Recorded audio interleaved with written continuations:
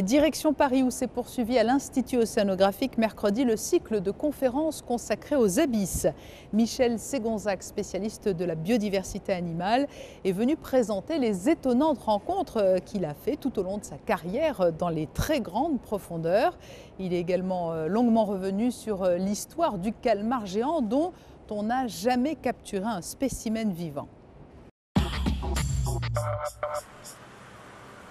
Certains l'ont surnommé le bestiologue des grands fonds. Michel Segonzac a passé plus d'une trentaine d'années au sein de l'Ifremer.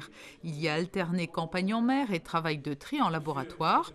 Ce sont ainsi des milliers d'espèces, vers géants, crevettes aveugles, moules, qu'il a pu scruter tout au long de ces années, au gré des nouvelles inventions technologiques qui ont pu faciliter le travail des océanographes.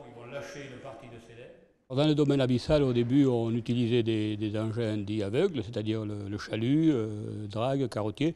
Et c'est avec l'apparition, l'avènement des sous-marins qui pouvaient plonger à 6000 mètres que là, on a eu accès direct à euh, des grandes profondeurs et notamment euh, ces fameuses sources hydrothermales, ces communautés hydrothermales où là, on a, on a vu beaucoup de choses nouvelles.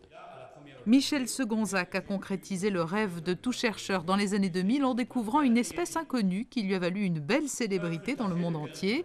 Le petit animal en question s'appelle la Galatée yeti. C'est un crustacé que j'ai eu la chance de découvrir avec une équipe euh, américaine. Et au cours de ma plongée, j'ai vu euh, un animal qui était tout à fait bizarre et que je n'avais pas l'habitude de voir, au moins dans ces zones-là. Et donc c'est un crustacé qui fait 15 cm de long, euh, aveugle, avec la particularité d'avoir des appendices très longs et recouverts de soie, elles-mêmes recouvertes de, euh, de, bactéries filamenteuses. Ce sont des bactéries qu'on retrouve toujours très souvent dans les communautés hydrothermales.